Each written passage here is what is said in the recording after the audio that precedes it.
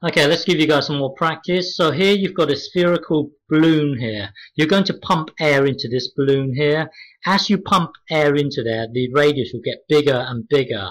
So uh, the, the, the amount of air that you're pumping in is, uh, is 6 centimeters cubed per second.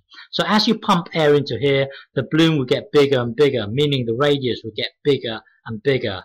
So when, when the balloon gets to a radius of 10 centimeters, uh, what is the rate of increase of the radius? So basically we want to know dr by dt when the radius gets to uh, to 10 centimeters. Okay, so this here will be uh, dv by dt. Okay, this is the amount of uh, air that you're pumping into the into the balloon. This is what we want to know dr by dt, the the rate at which the radius is increasing. Okay, so press pause and um, and have a go. Okay, so to do this, start with your with your uh, volume equals this thing here, and and try and understand what's going on because as you're pumping air air into this balloon here, the uh, the radius is increasing. So over time, uh, the radius is a function of t. So over time, the radius does depend on on uh, on time. So um, so so r is a function of time. And then also look look at look at the volume here. As you're pumping air into here, over a period of time, um, the the volume does well. The volume depends on on the time. So so the volume is a function of time. So bear the, bear this in mind when you when you when you use implicit differentiation here. So the next step, uh, start with our start with our formula here. Use implicit differentiation. So uh, so differentiate this. That will then give you because because uh, v is a function of time. Remember, we are differentiating this with respect to time. So um, so because v is a function of time, we do need to stick dv by dt in here, and then differentiate this as normal.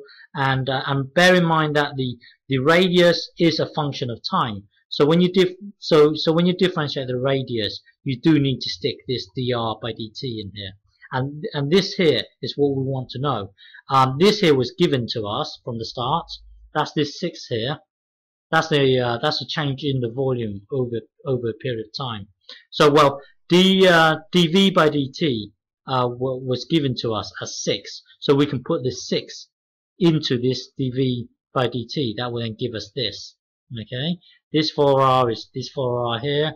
Uh, sorry, 4 pi is this 4 pi here. Um, dr by dt is what, what we want to know. This is what we want to know. And r, well, at at um, at that precise moment in time when the radius is 10, so um, on, we want to know the uh, the increase in the radius at this specific time here, at at when when the radius equals 10. Okay, because because we want to know the uh, dr by dt at that precise moment in time uh, when when the radius is 10 we can put this 10 into here. Okay that will then give us a, a hundred.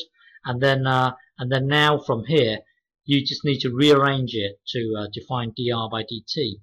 So rearrange it blah blah blah. dr by dt is given by this. So jump to a calculator and then that equates to this. So what that means is that dr by dt equals this. Um, so so what that means is that when the when a sphere gets to a radius of 10 centimeters, um, dr by dt is this thing here, meaning um, the radius is growing by by uh, by this amount per second, by this amount uh, centimeters per second. Okay.